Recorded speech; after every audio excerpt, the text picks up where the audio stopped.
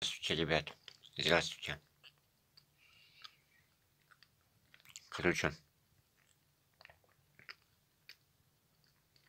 что хочу сказать.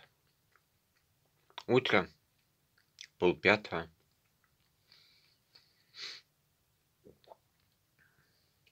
Я что-то захотел кушать.